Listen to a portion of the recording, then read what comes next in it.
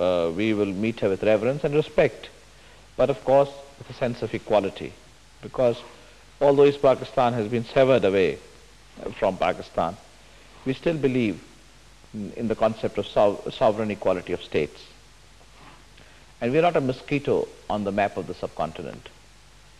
Still we are 60 million people and with a, with a good history and with a good account of ourselves. And I have lifted the morale of the people again, uh, not by fanning hatred. I haven't done that, but by uh, going in the direction of reform and revolution. So I, I'm looking forward to our encounter, to our meeting, and I hope it will be a productive dialogue. Obviously, your first priority must be to get your prisoners of war home again. You've said that, you've made that very plain. But how are you going to persuade Mrs. Gandhi that once they're home again, they're not going to push you towards confrontation once more, perhaps even to a war of revenge?